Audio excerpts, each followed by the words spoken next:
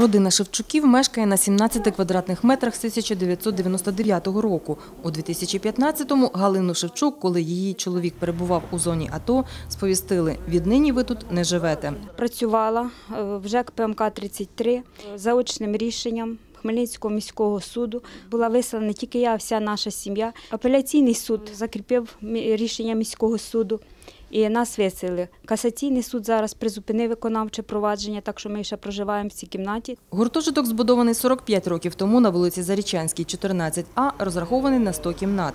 Нині у паперах має іншу адресу, каже хмельничанка Жанна Нагаєвська. І іншого власника, котрому належить гуртожиток. 25 травня 2017 року апеляційний суд виніс рішення на користь мешканців гуртожитку, в якому чітко зазначає, гуртожиток, якого був на балансі ПМК 33, неправомірно передав цей гуртожиток, відчужив у приватну власність ПМК 2015. Комунальні борги пожильців комендант гуртожитку вивішує на дошку оголошень. Більшість сплачує справно, запевняє Жанна Нагаєвська. Частина мешканців на рахунок, який, на жаль, заблокований теплокомунерго за борги, а частина, більша частина все-таки мешканців гуртожитку носять е, в руки віддають або бухгалтеру коменданту, а ті вже якось там розподіляють ці кошти за е, комунальні. Дізнатися, звідки такі суми, у коменданта важко. Жінка силоміць зачиняє двері.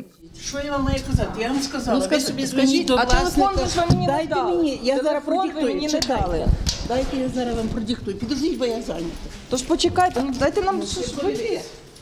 Я ж вам сказала, підніміться, я зайнята. От вам телефон.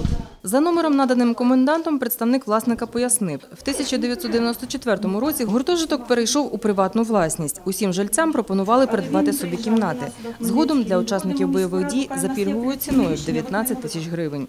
За його словами, відносно майже десятка мешканців гуртожитку є судові рішення про виселення, котрі будуть виконуватися.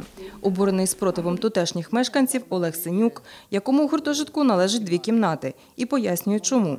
Мені власник зараз, який є, не може дати документи, тому що е, заблоковані щита всі на ту власність.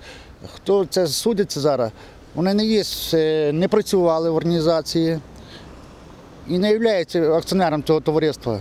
Такий конфлікт навколо гуртожитку голова Всеукраїнської асоціації мешканців гуртожитків Анатолій Буднік називає непоодиноким і зазначає, в судах права пожильців вдається відстояти. Виключення є, коли добровільно віддали балансоутримувачі, комунальну власність гуртожитки, і люди спокійно приватизували. Одиниця.